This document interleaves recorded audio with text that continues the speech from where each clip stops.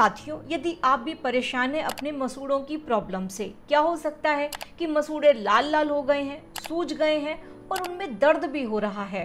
तब यह वीडियो आपके लिए है। इसमें हम जानेंगे कि क्या है कारण और किस प्रकार से आप घर पर रहकर ही बहुत ही कम एक्यूप्रेशर पॉइंट से, बहुत ही कम खर्चे में अपने इस प्रॉब्लम से छुटकारा पा सकते हैं। आइए बढ़ते हैं वीडियो की तरफ़ और विस्तार से समझते हैं उन खास एक्यूप्रेशर पॉइंट्स को।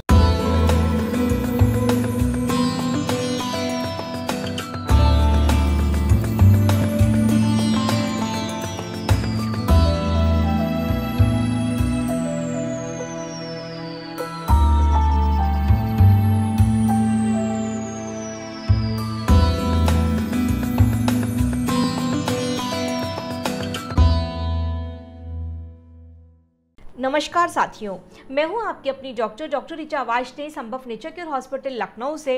स्वागत करती हूँ आप सभी का घर बैठे चिकित्सा कार्यक्रम में। साथियों, जब हमारे शरीर में स्टमक में हीट बढ़ जाती है, अब बढ़ने का कारण क्या है स्टमक में हीट का? तो जो लोग बहुत ज़्यादा दाल मोट खाते हैं ड्राई चीज़ें खाते हैं, है ना? कुछ लोगों को होता ना कि बहुत ज़्यादा नमकीन खा लिया, या गरम मसालेदार चीज़ें खा ली, या गरम तासीर की चीज़ें खा ली, या बहुत ज़्यादा जब ऑयली या ग्रीसी फ़ूड खाते हैं तो अक्सर स्टमक में हीट बढ़ जाती है। और सिम्टम्स में क्या आएगा कि जो मसूड़े हैं, वो लाल लाल रंग के हो जाते हैं, सूज जाते हैं, दर्दीले हो जाते हैं। तो ये था रूट कॉज साथियों, ऐसे ही एक्यूप्रेशर एक्यूपंचर में बहुत सारे डायग्नोसिस हैं। आप रूट कॉज पे जाके आप कोई भी सिम्टम देखें, शरीर में कहीं पर भी कोई दिक्कत है तो सबसे पहले तो सिम्टम से ही पहचानेंगे ना। वो सिम्टम को आप देखकर बीमारी की जड़ कहाँ पर है, जड़ से आप उपचार करना सीख जाएँगे। तो ये जादू है एक्यूप्रेशर थेरेपी का। और साथियों, यही हमने सिखाया है कि आप किस प्रकार से घर पर रहकर ही इन बारीकियों को सीख सकें। मन है आपका तो स्क्रीन पर देखिए बहुत सारे कोर्सेज जो डिज़ाइन ही इसीलिए किए हैं कि हम घर बैठे आपको ये बारीकियाँ सिखा सकें। आप एज आ पेशेंट भी इसको सीख सकते हैं। यदि आपका मन है अपना करियर बनाने का तो इन सारे कोर्सेज को करके आप अपना करियर भी बना सकते हैं क्लिनिकल प्रैक्टिस कर सकते हैं। साथियों यहाँ पे बात हो रही थी स्टमक हीट जब बढ़ जाती है, तब ये रूट कॉज में आया कि मसूड़े लाल हो जाते हैं, दर्दीले हो जाते हैं और सूज जाते हैं। अब बात करते हैं ट्रीटमेंट की। तो ट्रीटमेंट के लिए हमें ज़रूरत होगी पेपर टेप की और टोनिफिकेशन सडेशन मैग्नेट्स की। बहुत छोटे छोटे से होते हैं कि ये एक तरफ़ से येलो कलर के, दूसरी तरफ़ से ये वाइट कलर के होते हैं, क्योंकि हमें कुछ पॉइंट्स को टोन कुछ पॉइंट्स को सजेट करना होता है, इसलिए हमें टोनिफिकेशन सडेशन मैग्नेट्स की आवश्यकता होती है। अब आप कहेंगे कि मैम अब ये तो हमारे पास है नहीं है कहाँ मिलेंगे? तो बिल्कुल भी परेशान मत होइए, निगाह डालिए नीचे। एक वेबसाइट की लिंक है संभव की और डॉट कॉम पूरी एक्यूप्रेशर किट अवेलेबल है, आप यहाँ से मंगा सकते हैं। आइए, अब बात करते हैं उन खास एक्यूप्रेशर पॉइंट्स की। यही हमारा ट्रीटमेंट है, यही हमारी मेडिसिन है। हमें कुछ और नहीं खाना, हम केवल एक्यूप्रेशर पॉइंट्स पर जब मैग्नेट लगाएँगे तो अब डे वन से आपको रिज़ल्ट मिलना शुरू हो जाएगा। पहला पॉइंट है इंडेक्स फिंगर में index finger upper joint joint से स्लाइटली ऊपर। टुवार्ड्स थम ये पॉइंट है पॉइंट का नाम है एल आई फोर एक दूसरा पॉइंट है, साथियों, आएँगे इंडेक्स फिंगर में ही अपर जॉइंट जॉइंट से स्लाइटली नीचे। टुवार्ड्स थम ये पॉइंट है, इस पॉइंट का नाम है L I seven index finger में लार्ज इंटेस्टीन मेरिडियन का एक और पॉइंट है साथियों, ये हमारा जॉइंट पर ही आ रहा है, यानी इंडेक्स फिंगर मिडिल जॉइंट बिल्कुल किनारे टुवार्ड्स थम ये पॉइंट है पॉइंट का नाम है एल आई इलेवन तो ये तीनों के तीनों पॉइंट हमारे लार्ज इंटेस्टीन मेरिडियन के हैं तो L I four L I seven और एल आई इलेवन पहले हम इन पर मैग्नेट लगाते हैं। दो पॉइंट्स और हैं, इनको हम अभी बाद में देखते हैं। तो लेना होगा पेपर टेप पेपर टेप में आपको इस तरीके से मैग्नेट को लेना है कि स्किन में जो टच होगा, वो वाइट बाहर से जो दिखाई देगा येलो और जो ये हमारा पॉइंट है एल आई फोर इसके ऊपर हम इस तरीके से मैग्नेट को लगा देंगे।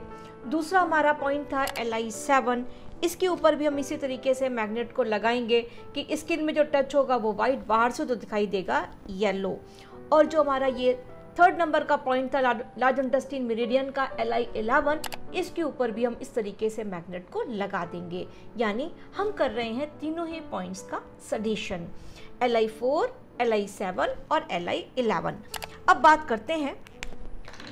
साथियों, आएँगे पामर साइट में। पामर साइट में कैसे ढूंढेंगे उस पॉइंट को? पहले ये समझते हैं एग्जैक्टली exactly, कि यदि मिडिल फिंगर और रिंग फिंगर है इस पर यदि हम इमेजनरी एक लाइन खींचें अब लाइन खींचेंगे सपोज़ करो किसी भी कुंद चीज़ से आप इस तरीके से लाइन खींच रहे हैं सपोज़ आप ऐसे इस तरीके से आगे बढ़ते जा रहे हैं बढ़ते जा रहे हैं बढ़ते जा रहे हैं जहाँ पर भी कुंद चीज़ रुक जाए आपकी एग्जैक्टली exactly, या तो नहीं इसी की ही साइड में हमारा पॉइंट है।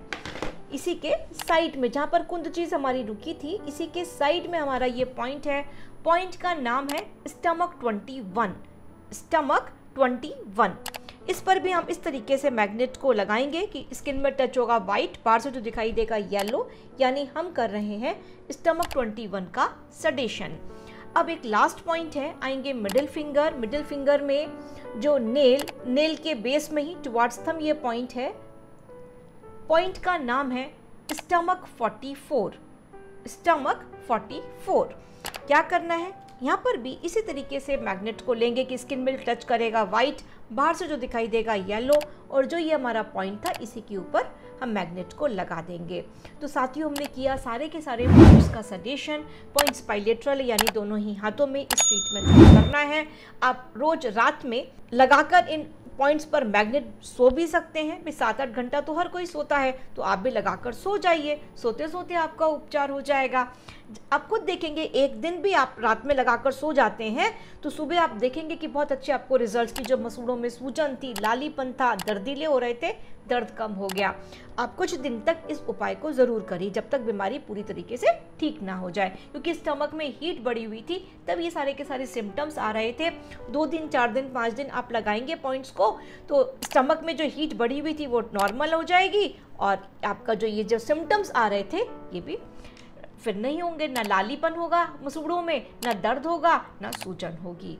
तो इस उपाय को आप ज़रूर करिए।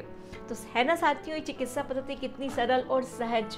जनहित में आप इस वीडियो को अधिक से अधिक शेयर करिएगा ताकि आपकी वजह से बहुत लोगों की हेल्प हो सके। यदि आप भी परेशान हैं बीमारियों से और उपचार चाहते हैं एक्यूपेशर थेरेपी से तो आप मुझे नीचे कमेंट्स में लिख सकते हैं। नहीं तो वेबसाइट पर ही बुक एंड अपॉइंटमेंट का ऑप्शन है। आप अपना अपॉइंटमेंट में बुक कर सकते हैं डायरेक्टली मेरे से बात हो जाएगी। आज के लिए ही, मिलते किसी और वीडियो में, किसी और नई बात के साथ। तब तक के लिए मुझे आज्ञा दीजिए। नमस्कार।